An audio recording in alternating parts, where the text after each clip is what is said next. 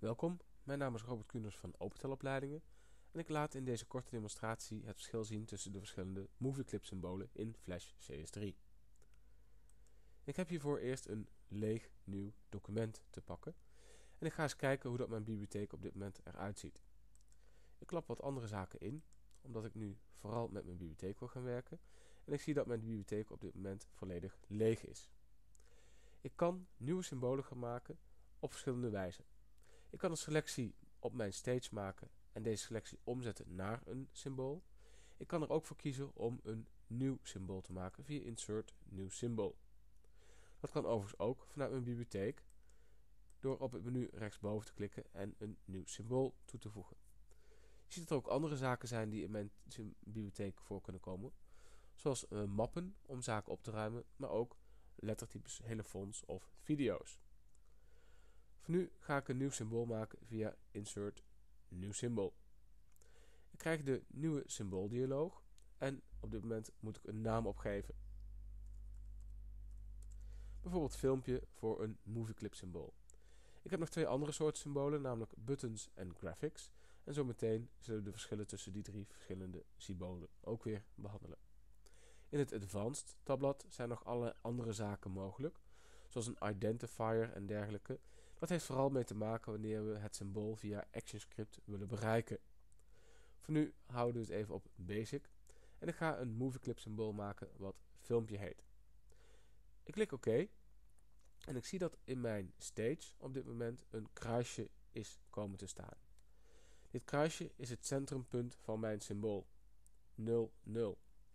En ik kan dat kruisje dus ook niet verplaatsen. Het nulpunt is altijd het nulpunt. Ik zie ook dat ik nu in mijn symbool aan het werk ben. En dat zie ik hier bij deze navigatiebalk. Ik zie daar staan dat ik helemaal aan de rechterkant filmpje heb. En één stap naar links zit scene 1. Wil ik nu uit mijn symbool gaan, dan kan ik klikken op scene 1. Ik kan ook eventueel het pijltje naar links klikken.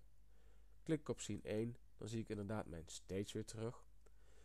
En ik ben mijn symbool in die zin op mijn stage kwijt. Waar ik mijn symbool wel zie, is hier in de bibliotheek. Wanneer ik mijn symbool selecteer, krijg ik dat ook netjes als een preview te zien. En in het preview scherm erboven zie ik nu alleen maar mijn kruisje te staan. Wil ik mijn symbool gaan wijzigen, dan kan ik het gaan dubbelklikken. Een symbool heeft zijn eigen tijdlijn. Ik kan dat demonstreren door hier wat lagen erbij te maken en in dit symbool bijvoorbeeld een eenvoudige animatie te maken. Ik kan dat doen door een vorm te tekenen en deze vorm door de tijd heen te veranderen in een zogenaamde shape tween. Ik doe dat even op een eenvoudige manier. Niet alleen uh, de vorm verander ik, maar ook bijvoorbeeld de vulkleur. En als ik mijn vorm een beetje wil laten indeuken, dan kan ik dat door de lijnen een beetje naar binnen te trekken. Ik geef van het voorgaande keyframe aan dat het een shape tween is. En ik zie nu netjes een vormverandering. Ga ik nu weer terug naar mijn scene, bijvoorbeeld door op scene 1 te klikken, dan zie ik inderdaad dat ik hier nu weer de tijdlijn heb van mijn hoofdfilm, laag 1, en dat in mijn bibliotheek het filmpje nog steeds als preview staat.